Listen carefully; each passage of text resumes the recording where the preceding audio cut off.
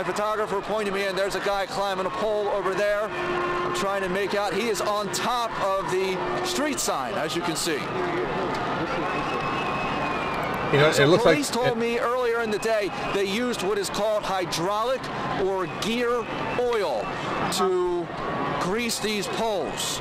Uh, that's a you know a, an audible from the uh, Crisco they used two weeks ago.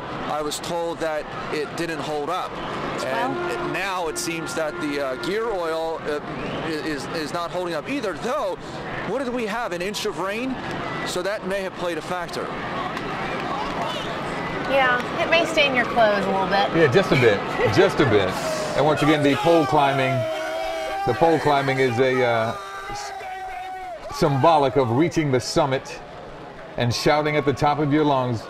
In this case, smoking at the top of your lungs. My goodness, he is smoking. He, he is doing many things all at once. Um, all right, well, we'll see how this my man goodness. fares right there, literally at Cottman and Frankford. Right, right, exactly. Um, and once again.